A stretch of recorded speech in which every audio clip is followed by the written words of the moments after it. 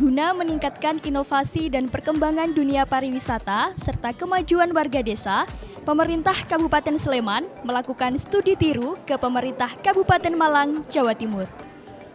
Kunjungan yang dihadiri oleh Bupati Sleman, Kustini Sri Purnomo, Wakil Bupati Sleman, Danang Maharsa, dan beberapa OPD terkait pada Rabu lalu di Komplek Kantor Bupati Malang yang diterima langsung oleh Wakil Bupati Malang, Didi Gatot Subroto.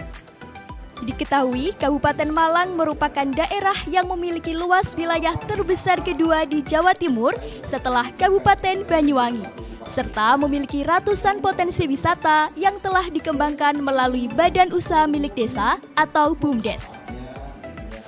Salah satunya yakni Desa Wisata Pujon Kidul yang berada di Kecamatan Pujon, Kabupaten Malang.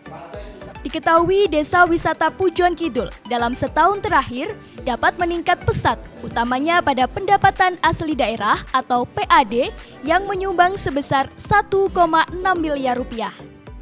Bupati Sleman Kustini Sri Purnomo mengatakan beberapa desa wisata di Kabupaten Sleman juga telah memiliki BUMDes, namun belum dikelola secara maksimal. Keberanian kepala desa untuk menggerakkan warganya guna mengelola desa wisata menjadi kunci kemajuan sebuah potensi wisata yang dikelola melalui badan usaha milik desa ini. Dengan kunjungan ini, sistem pengelolaan BUMDes yang berada di Kabupaten Malang bisa ditransfer dan diaplikasikan ke depannya. Mana hasilnya kita adalah kunjungan untuk desa wisata yang dikelola oleh BUMDes alhamdulillah Punjon Punjon Kidul. Kidul ini nanti tadi dipaparkan oleh Pak Wakil Bupati maupun Kepala UPD bahwa di desa di desa itu bisa mengelola bumdes dengan kelola yang begitu baik dan tertata rapi. Ini memang semua adalah inisiatif dari lurah dan didukung oleh stakeholder yang ada di kelurahan. Sehingga adanya bumdes ada adanya uh, apa darwis. Ini semua adalah dikelola dengan baik. Dan ini nanti uh, akan kita berusaha mentransformasikan ke Kabupaten Sleman. Di mana di Kabupaten Sleman belum maksimal. Ada tapi belum maksimal.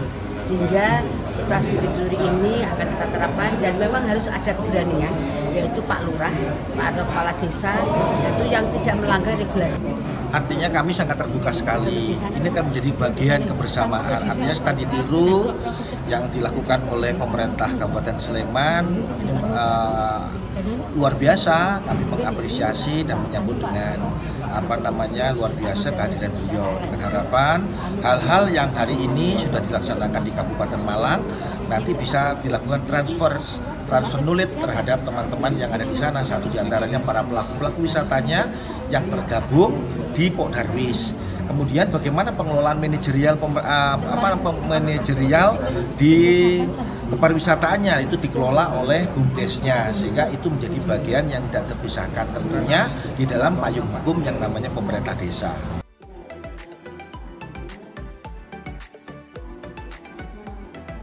Selain membahas sistem BUMDes pada desa wisata, pembahasan tentang pengelolaan sampah juga menjadi konsentrasi pemerintah Kabupaten Sleman pada kunjungan tersebut.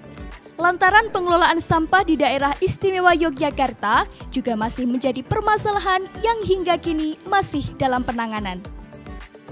Diharapkan dengan studi tiru ini, pemerintah Kabupaten Sleman bisa memajukan warganya untuk berani menggerakkan wisata melalui BUMDes yang sesuai dengan regulasi yang ada.